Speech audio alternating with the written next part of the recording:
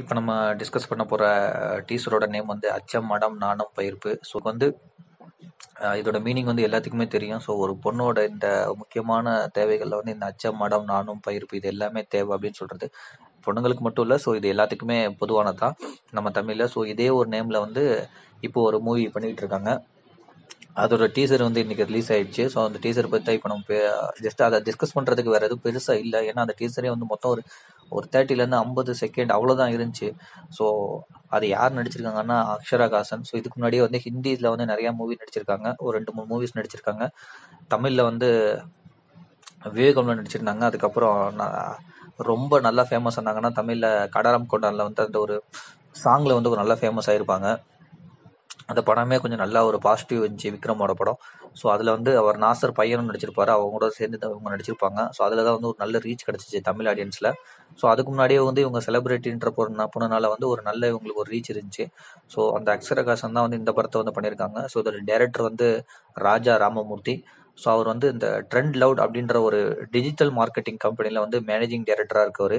So இந்த trend loud அப்படின்றது வந்து ஒரு ஆல்ரெடி ஒரு டிஜிட்டல் மார்க்கெட்டிங்கில் வந்து நல்ல ஒரு ஃபேமஸாக போயிட்டு இருந்தது. அந்த ஒரு இவங்க நிறைய போட இது சீரீஸுக்கு ப்ரொடக்ஷன் பண்ணியிருக்காங்க. அந்த ஸ்கிரிப்டிங் ஒர்க்குக்கு இது பண்ணியிருக்காங்க. அந்த டிஜிட்டல் மார்க்கெட்டிங்கில் வந்து ரொம்ப ஃபேமஸான ஒரு கம்பெனி இது ட்ரெண்ட் ட்ரெண்ட் லவுடுன்னு ஸோ அதில் இருக்க அந்த ராஜா ராமமூர்த்தின்றவர் தான் வந்து இந்த படத்தை வந்து டேரக்ட் ஃபர்ஸ்ட் ஃபியூச்சர் ஃபிலிமாக அந்த ஒரு ப்ரொடக்ஷன் டிஜிட்டல் மார்க்கெட்டிங் கம்பெனிலேருந்து ஃபர்ஸ்ட் ப்ரொடக்ஷன் ஃபிலிமாக இந்த படம் பண்ணியிருக்காங்க ஸோ இதோட டீசர் வந்து இன்னைக்கு ரிலீஸ் ஆயிருந்துச்சு. ஸோ இவர் வந்து இதுக்கு முன்னாடி நிறைய படத்தில் வந்து ஒர்க் பண்ணல. ஜஸ்ட் இதில் மட்டும்தான் இருக்காரு. ஆனால் இவர் ஸ்டோரி கண்டல் கன்சல்டண்ட்டாக வந்து ஒரு ரெண்டு மூணு வருஷம் வந்து ஒர்க் பண்ணியிருக்காரு யார் யாரெல்லாம் வந்து அந்த மூவி எல்லாமே வராங்களோ ஸோ அதுக்கு வந்து அந்த ஸ்டோரி கன்சல்டன்ட் அந்த சைடில் வந்து ஒர்க் பண்ணியிருக்காரு ஸோ இப்போ இந்த ட்ரெட் லவுட்ல வந்து மேனேஜிங் டைரக்டர் இருக்கனால அதே கம்பெனி ப்ரொடக்ஷன் பண்ற மொதல் படத்தோட டைரக்டருமே வந்து இவர் தான்.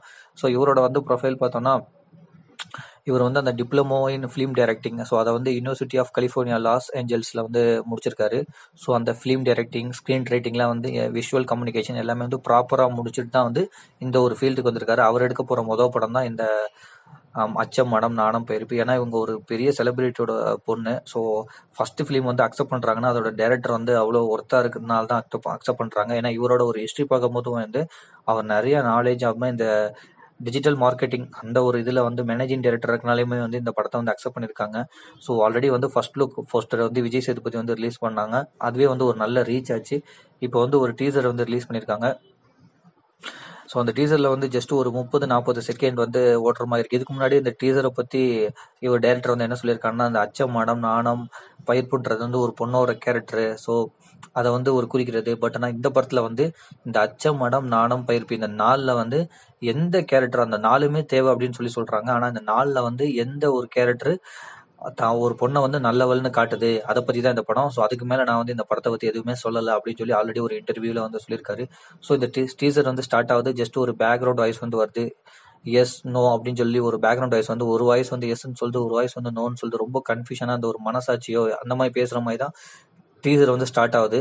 ஸோ ஃபுல்லாக அந்த அக்ஷரகாசன் வந்து லாங் ஷாட்டில் வந்து காட்டுறாங்க. அதுக்கப்புறம் போக போக இந்த இது பேசிக்கிட்டு அதுக்கப்புறம் வந்து உனக்கு பேய் பிடிச்சிருச்சா அப்படின்னு சொல்லி ஒரு வாய்ஸ் வருது. இந்த மாதிரி வந்து ஒரு ரெண்டு மூணு வாய்ஸ் வந்து மாற்றி மாற்றி வந்துட்டு இருக்கு. அது வந்து அக்ஷரஹாசனோட வந்து அந்த ஒரு லாங் ஷாட்ல வந்து காட்டினவங்க. அது அப்படியே வந்து ஜஸ்ட் க்ளோஸ் அப் ஷாட்ல வந்து அப்படியே காட்டுறாங்க. அப்படியே காட்டி லாஸ்ட்ல வந்து அந்த ஒரு பேக்ரவுண்ட் வாய்ஸ் இந்த மாதிரி வந்து சேஞ்ச் ஆகிட்டு வர்றது வந்துகிட்டே இருக்கப்போ இவங்களோட எக்ஸ்பிரஷன் வந்து ஒரே மாதிரி தான் இருக்கு. சடனா டக்குன்னு அந்த செகண்ட் சீன் போறப்போ வந்து தூங்கி முழிச்சு கனவுமாய் வந்து முடிக்கிறாங்க.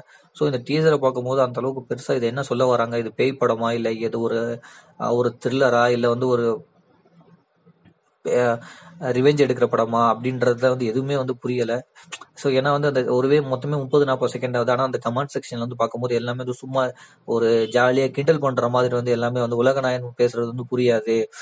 அதனால தான் வந்து இந்த டீசரே இது புரியல. அப்படி இப்படின்னு சொல்லிட்டு ரொம்ப எப்பவும் போலயே வந்து கமெண்ட் பண்ணியிருக்காங்க. பட் கண்டிப்பா அந்த டீசர்ல வந்து அவ்வளவுதான் காட்ட முடியும். ஆனா அந்த அச்சம் மனம் நாணம் பயிர்ப்பு இப்படி இந்த மாதிரி ஒரு பேர் வைக்கிறவங்க கண்டிப்பா ஒரு நல்ல ஒரு கண்டென்ட்டோட தான் கொடுப்பாங்கன்றது அந்த அந்த ஒரு நேம்லயே வந்து தெரியுது. உலகநாயகனே வந்து அவரே வந்து கமல்ஹாசனே வந்து சொல்லியிருக்காரு. நான் பேசுறது வந்து புரியல நிறைய பேர் சொல்றாங்க. பாரதியார் பேசுறது தான் புரியல. ஆனா இப்ப பாரதியார் பேரோட வந்து இவ்வளவு இவ்வளவு வருஷம் நம்ம சொல்லிட்டு இருக்கோம்ல. அவர் எழுதின பாட்டு வந்து புரியலன்னு சொல்லிட்டு நம்ம அவரை தூக்கியா போட்டோம். அதுக்கப்புறம் அர்த்தம் கண்டுபிடிச்சு நம்ம பண்ணிட்டு தான் இருக்கோம்ல. சோ அந்த மாதிரி தான் அப்படின்னு சொல்லி அவரே வந்து அவரோட ஓன் இந்த மாதிரி ரைட்டிங் ஸ்கில்க்கு வந்து சொல்லியிருக்காரு. பட் இனிமே வந்து இவங்க இந்த மாதிரி தான் வந்து யூடியூப்ல கமெண்ட் பண்ணிட்டு இருந்தாங்க. ஸோ டீசர் பார்க்கும்போது வந்து பெருசா நமக்கு புரியல அப்படின்னு சொல்லி சொன்னாலுமே பட் இந்த நேம் வச்சு பார்க்கும்போது ஒரு நல்ல படத்தை வந்து இந்த டேரக்டர் வந்து கொடுப்பாங்க அப்படின்ற ஒரு நம்பிக்கை மட்டும் வருது. ஏன்னா அந்த அந்த ட்ரெண்ட் லவுட் கம்பெனி வந்து இதுக்கு முன்னாடி நிறைய அந்த டிஜிட்டல் மார்க்கெட்டிங்ல வந்து ஒர்க் பண்ணிருக்காங்க. ஒரு எக்ஸ்பீரியன்ஸ்டான ஒரு கம்பெனி அதனால. ஸோ இதுதான் வந்து இந்த ஒரு டீசரோட அனலைஸ் பண்றது. ஸோ இனிமேல் ட்ரைலர் மூவி வந்து இனிமேல் ட்ரைலர் இருந்தால் தான் நமக்கு வந்து இது தெரியும். என்ன ஒரு கண்டென்ட் அப்படின்னு சொல்லிட்டு ஸோ அப்போ நம்ம டிஸ்கஸ் பண்ணுவோம். Okay bye